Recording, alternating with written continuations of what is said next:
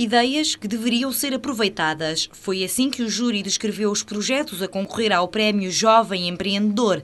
Dezenas de projetos foram apresentados pelos alunos das escolas de Caldas da Rainha. A Academia Empreendedores da Região Oeste, promovida pela Airo e o município de Caldas da Rainha, anunciou os vencedores nas várias categorias.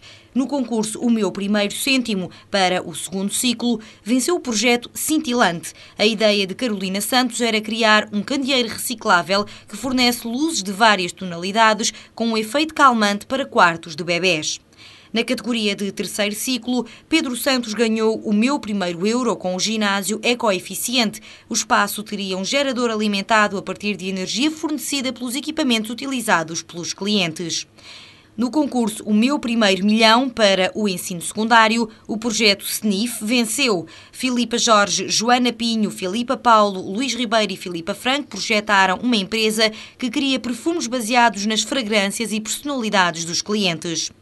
Além dos vales e certificados para as equipas vencedoras, foram atribuídas duas taças, uma para a escola mais empreendedora, o Agrupamento de Escolas de Santa Catarina, por ter apresentado mais projetos, e outra para a mais criativa, a Escola Técnica e Empresarial do Oeste, pela originalidade dos projetos a concurso.